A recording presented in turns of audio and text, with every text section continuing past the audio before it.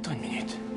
Quoi Tu ne vois pas Pas besoin de faire un dessin au docteur. Je sais reconnaître le mal quand je le croise et il est tapis dans cette église.